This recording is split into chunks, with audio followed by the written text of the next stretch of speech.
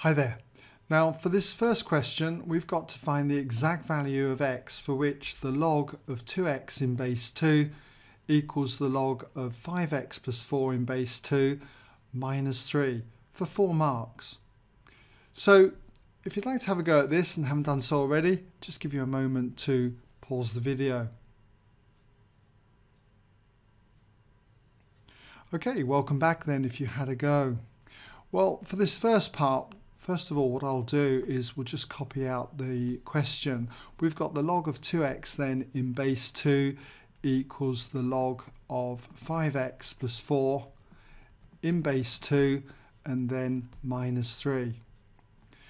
Now to solve an equation that involves logs, if you've been watching my previous tutorials, which you can find on my website, you'll know that we need to reduce this down to two terms. At the moment we've got three terms, one here, one here, and then the minus 3 for the third term. So to do this, we need to bring the logs to one side. So I'm going to, let's say, keep this term positive. I'm going to add 3 to both sides and subtract log of 2x in base 2 from both sides. So what I get then is the log in base 2 of 5x plus 4 and then minus log of 2x in base 2 okay? And that would equal 3 I've still got my three terms at the moment but now that I've got the logs on both sides I've got one log minus another log I should be familiar with the rule that this is the same as dividing 5x plus 4 by the 2x. So it's the log of 5x plus 4 divided by the 2x. And this is all in base 2. And it equals the 3. So what I've now got is an equation with two terms in. This is one term equals on the other side another term. And when you reach this stage, you should now be able to anti-log okay remove this log here.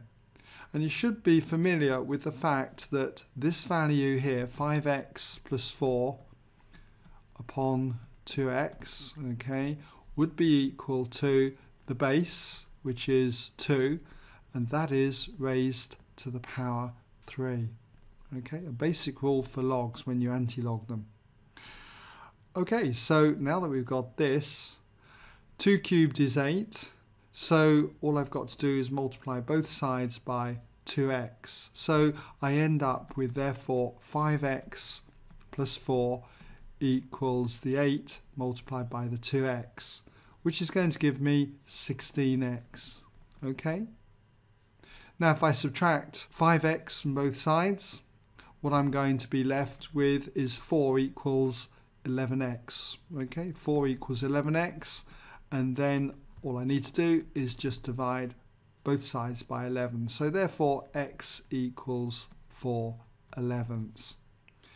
It says find the exact value of x, so I'm just going to leave it then as x equals 4 elevenths. Okay, well that's part one. Let's just border that off and we can now move into part two. And for part two, we're given that the log of y in base a plus 3 times the log of 2 in base a equals 5 and we're asked to express y in terms of a.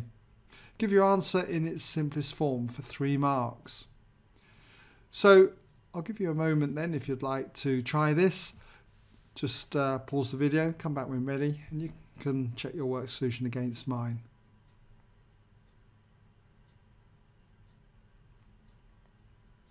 Okay, welcome back then if you had a go.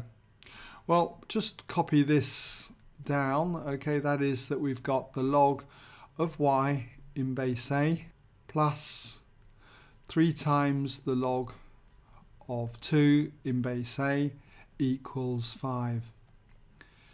And to do this again, in order to simplify it, I've got to reduce these three terms down to two terms. Well, I've got the logs on the same side, so that's a start, but I've got this 3 in the front of the log here, and so I need to remove it. And you should be familiar with the rule that allows us to do that. And that is that we can take the 3 up as a power of the 2. So this is the same as the log in base a of 2 to the power 3, 2 cubed, and that equals 5. Well, this is clearly 8, 2 cubed is 8. Uh, let's just write that in, okay, that we've got the log in base a of y plus the log in base a of 8, and that equals 5. Now when we've got one log plus another log, again you should be familiar with the rule that this is the same as multiplying our two values together. So it's going to be the log of 8y in base a. And this equals the 5. So we've got a similar situation to what we had here. We now need to anti-log and so therefore we have got 8y must be equal to the base which is a raised to the power 5. And so to get y all we need to do is divide both sides by 8 and we get y equals a to the power 5 then divided by 8. And there's your answer.